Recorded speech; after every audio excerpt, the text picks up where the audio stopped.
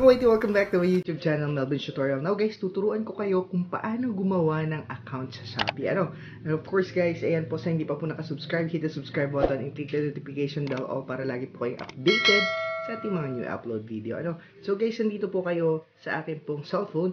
Of course guys, pupunta kayo sa, first pupunta kayo sa Google Play Store. Ano, puntahan nyo yung Google Play Store guys.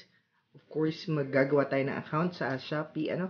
So, search natin dito sa search engine ni Google Play Store yung ating pong Shopee. Ano, hanapin nyo guys dyan yung Shopee. Ayan po. Ayan, pindutin nyo yung Shopee guys. And of course guys, ang gagawin nyo lang, ida-download nyo lang yung Shopee. Na-download ko na po siya kanina para po mabilis po yung tutorial natin. Ngayon guys, i-open nyo lang siya.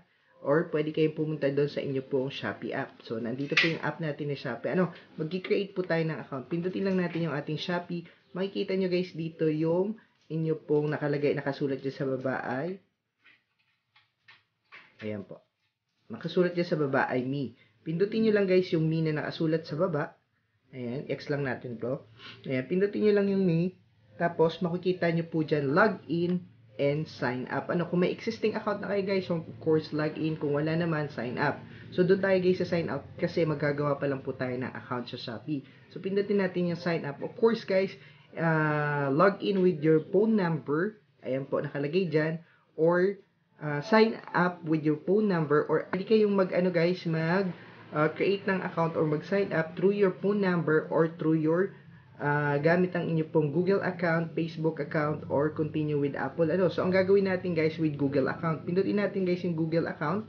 Then guys, so ngayon guys, magsa-sign up tayo with Google account natin. Ano?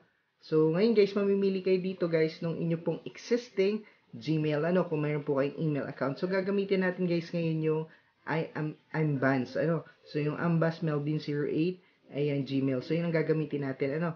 Of course guys, pag click natin nung, atong, nung ating pong Gmail, ayun, makikita nyo guys dito, yung ating pong Gmail account, ano. So, punta tayo dun sa ating pong profile pictures. Ayan, nakalagay na po, verify now or set now yung phone number, set now name, lagyan natin ng name guys, ano, of course, lagyan natin ay Melvin, ayan po, so save natin lang, and of course, verify now your email address, mobile number guys, yung mobile number ninyo, ayan po, ilalagay lang natin, itatago ko lang guys yung mobile number natin, ano,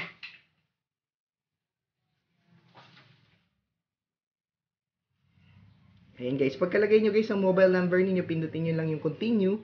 Ayan po, magsisend po sila ng confirmation sa inyo pong number. Ano, hintayin lang po natin yung confirmation ng ating pong uh, number. So, check natin guys sa ating pong cellphone. Ayan. So, ayan po, nag-send po dito sa ating cellphone ng mobile ng, ng ano po, ano, 151 151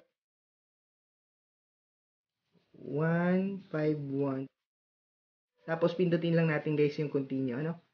So, ayan. Pindutin natin yung done. Then, okay. Ayan po guys, may prof, mayroon na po tayong account sa Shopee. And of course, kung gusto nyo mag-edit ng profile picture, pindutin lang yung edit profile picture. Take a pic image for your existing photo slider you would like to access your gallery. Allow lang natin guys. Then, allow. Of course, maghahanap po kayo dito ng profile picture ninyo na gusto nyo gamitin. Ano, for example guys, itong gusto kong gamitin click ko lang guys ano click nyo lang yung check pwede nyo i-adjust ayan po by dragging po yung inyo pong profile picture or yung inyong pictures ano so check lang natin and of course ayan po check lang natin pindutin natin yung check dun sa taas para po masave po siya ano so ayun guys yung ating pong ano profile ay ready na po ano